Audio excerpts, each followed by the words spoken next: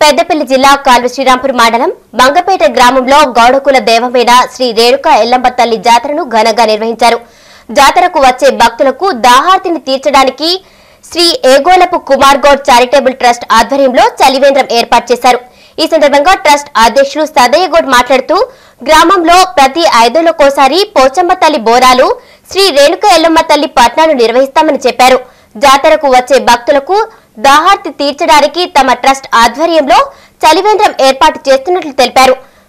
రెండు వేల నాలుగు సంవత్సరంలో ట్రస్టును స్థాపించి పెద్దపల్లి డివిజన్ పరిధిలో నిరుపేద కుటుంబాలకు పలు సేవా కార్యక్రమాలు చేస్తున్నట్లు వెల్లడించారు. మండలం మంగపేట గ్రామంలో గత మూడు రోజుల నుండి రేణుకెళ్ళమ్మ తల్లి బోనాలు స్టార్ట్ అవ్వడం జరిగింది.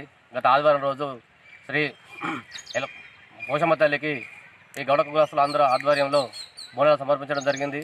అదేవిధంగా నిన్న సాయంత్రం ఈ బోనాలు మన మహిళ సోదరు మనులందరూ బోనాలు ఎత్తుకొని ఈ ఎల్లమ్మ తల్లికి దగ్గరికి రావడం జరిగింది.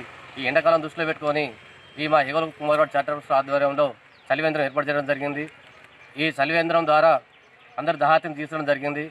అలాగే మా కుమార్ గౌడ్ ట్రా- చార్టర్ ట్రస్ట్ ఆధ్వర్యంలో గత పదిహేను సంవత్సరాల నుండి ఈ పెద్దపల్లి నియోజక పరిధిలో ఎవరైనా చనిపోయినా కావచ్చు లేదా ఏమైనా నిరుపేద కుటుంబంలో పిల్లలున్నా కావచ్చు లేదా ఎవరికైనా ఆరోగ్యం బాగలేకపోతే కావచ్చు ఇలాంటి టెంపుల్లో చలివేంద్రాలు కావచ్చు గత పదిహేను సంవత్సరాల నుండి ఏర్పాటు చేయడం జరుగుతుంది.